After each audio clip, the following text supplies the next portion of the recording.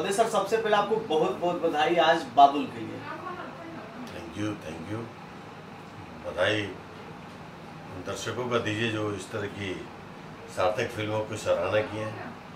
हम तो काम करने वाले हैं काम करते हैं काम करेंगे। काम करते हैं सर लेकिन ऐसा काम करते हैं कि ट्रेलर में जब आदमी इतना रोता है तो सोचिए फ़िल्म देखने के बाद क्या हाल होगी उसकी।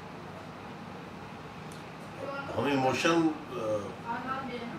को महत्ता देते हैं हमेशा से चाहे सिनेमा में अभिनय के ज़रिए हो। विलन भी था तो भी इमोशन को मैं प्रधानता देता था।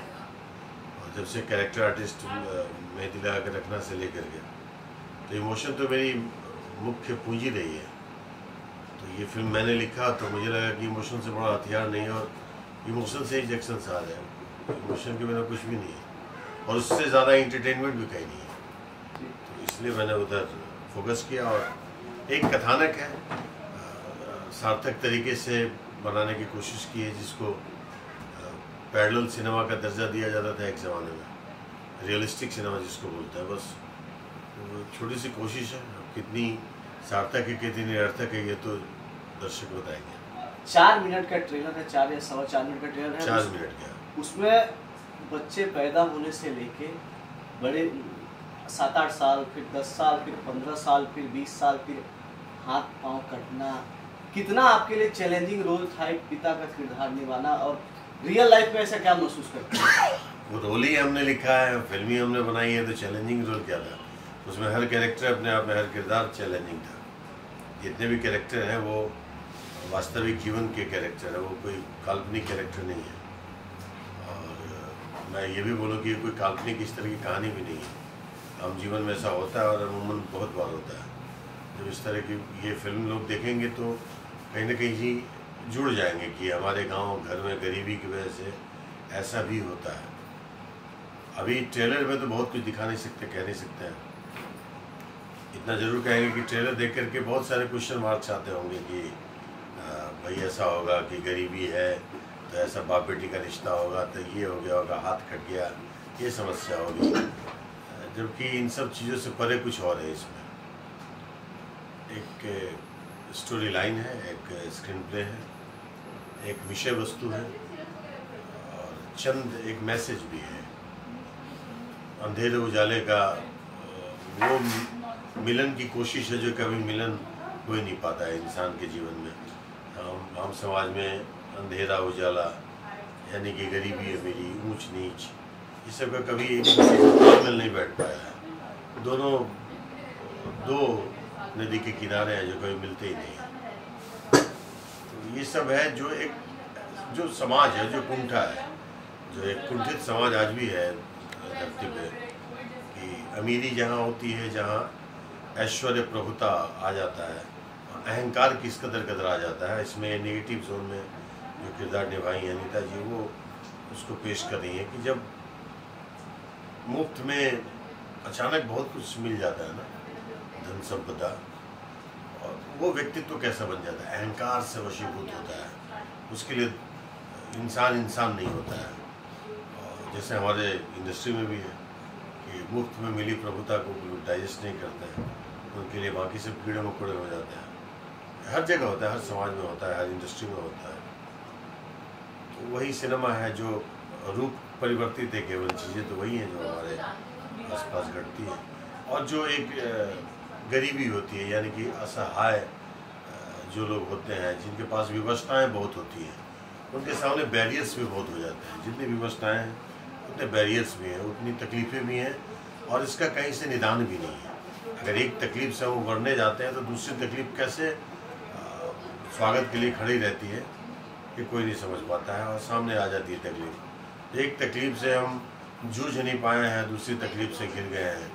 गिरते गिरते ऐसे गिर जाते हैं कि फिर न सोच काम करता है न समझ काम करता है कुछ नहीं। यही सब सिनेमा है।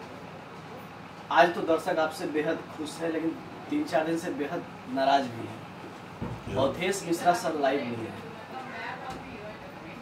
पिछले एक हफ़्ते से लाइव का दौर चल रहा है भोजपुरी इंडस्ट्री में। मैं वैसे भी लाइव अपनी मर्ज़ी से आता हूँ और बहुत कम आता हूँ, मुश्किल से। मुझे लगता है मेरी ज़िंदगी में दो तीन बार से ज़्यादा लाइव नहीं आया और जब कुछ मकसद होता है, कुछ मतलब होता है, तब आता हूँ। ये बेमतलब, बेमकसद, मैं कभी नहीं लाइव आने की कोशिश करता हूँ। क्योंकि ये सोशल मीडिया है। सोशल मीडिया समाज, जहाँ समाज जुड़ जाता है, वहाँ पे हम बेवजह का अपना अकलमंदी नहीं लड़ा सकते। जो अकलमंदी लड़ाने का जिनको शौक है जिनकी बुद्धिमत्ता बहुत ज़्यादा है वो लड़ाएँ जिनको अपना ही उपहास उड़ाना है उड़ाएँ। मैं कभी वैसे भी विवादों में नहीं पड़ा भोजपुरी में। विवाद हर क्षण विवाद ही होते रहते हैं। लेकिन विवादों से दूर रहा हूँ मैं और अभी तक तो बचा के रखा हूँ। लाइव नहीं आना मैं किस विषय पे आऊँ? अभी जो भोजपुरी नहीं आप ये बात किए इंडस्ट्री गलत बात कर रहे हैं फिर उल्टी बातें कर रहे हैं। इंडस्ट्री में कुछ नहीं विवाद चल रहा है।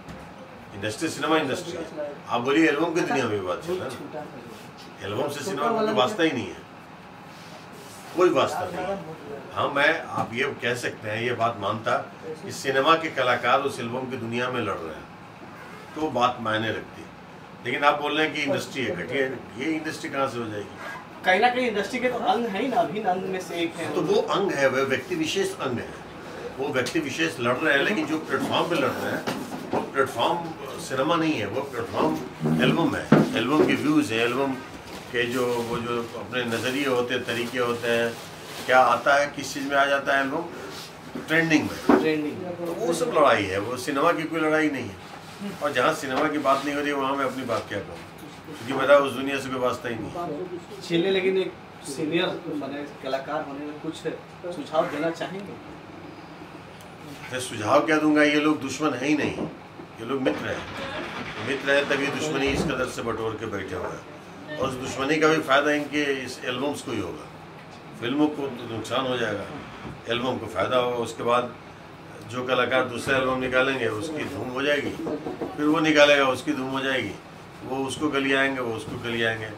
ताजुब तो ये है कि अभी सिनेमा इंडस्ट्री में आज हमारे बाबुल के इस ट्रेलर के कमेंट में, जहाँ अच्छे अच्छे कमेंट्स आ रहे हैं, वहाँ पे चंद ऐसे बेवकूफ़ फैंस हैं जो ये शब्द बोल रहे हैं कि फलाने इज़ नंबर वन उस ट्रेलर में फलाने इज़ नंबर वन की क्या ज़रूरत है? फलाने इज़ नंबर वन या नंबर टू तो सब जानता है। एक ही स्टार है फलाना। अरे वो तो ठीक है लेकिन इसमें बाबुल से उसका कोई वास्ता ही नहीं है। न इस फ़िल्म में है न कुछ है तो ऐसे बेवकूफ़ फैंस को लेकर के हम क्या अपनी वाहवाही बटोरेंगे? चलिए एक सर आखिरी सवाल कब तक दर्शक उम्मीद करें आपकी बाबुल रिलीज़ होगी और वापस घर की बेटी और बहनें सिनेमा हॉल में जाएँगी? नहीं मेरे से पहले बहुत फ़िल्मों में बेटी बहने जा रही हैं। अभी तो बंद जैसे निरवा तो- हिंदुस्तानी से लेकर अभी सिनेमा ही बंद हो चुका है साहब अभी सिनेमा की दुनिया कहाँ है? अभी सिनेमा हॉल की दुनिया निकल गई है, अभी एल्बम की दुनिया निहित हो गई है। और फ़िल्म ऐसे बन रहे हैं लॉकडाउन के बाद लग रहा है कि दुनिया कल खत्म हो जानी है। आज बना लो, नहीं तो कल रह ना रहे दुनिया। तो उस सिनेमा भी बन कर रहा है वैसे ही प्रपोजल की दुनिया बहुत ज़्यादा बन रही है। सिनेमा एक ही दुखी जो भी बन रहे हैं, बन रहे हैं और ये मैं खुशनसीब हूँ कि कुछ ऐसे अच्छी फ़िल्मों का हिस्सा हूँ। और बस वही होकर रहना चाहता हूँ। हम एक कलाकार हैं, हम एक अभिनय के ज़रिए इस धरती पे अपनी पहचान बना रहे हैं। अभिनय को ही प्रधानता देंगे। आप उस विधा की बात करेंगे जिस विधा से हमारा कोई ताल्लुकात नहीं है। कुछ कह नहीं सकता हूँ मेरा माध्यम भोजपुरी सिनेमा इंडस्ट्री है। मैंने फ़िल्म बनाई है एक बाबुल या इसके पहले जुगनू लोगों ने बोला कई लोगों ने हमारे इंडस्ट्री के लोगों ने बोला